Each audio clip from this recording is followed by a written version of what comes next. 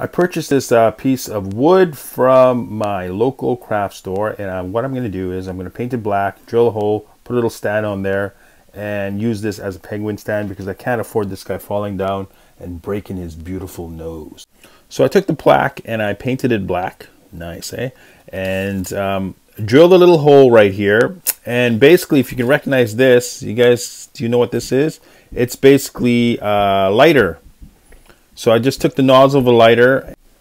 Next, I got some 12 gauge wire, molded it around the belly of Penguin, and uh, I, this little piece right here is for my paint brushes, just to hold it together. So the idea is we're going to stick it in there, boom, and uh, that will be enough to hold Penguin. And here's the finished product.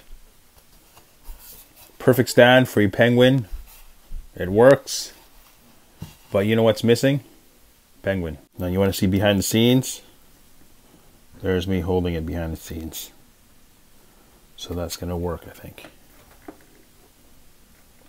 Beautiful. Look at that. It works.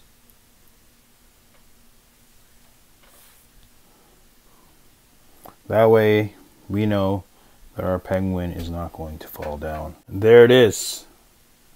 Your high-end NECA penguin quarter inch with a stand. And you can notice that it's hidden.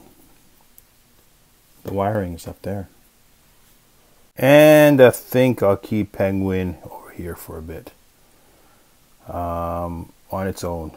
Because that's where he belongs. Not sharing the spotlight with anybody else. Beautiful. All right, guys, um, please like and subscribe, and we'll see you next time. I hope this was helpful. If it gives you any ideas, um, you know, to get a stand, put a stand on, make your own stand.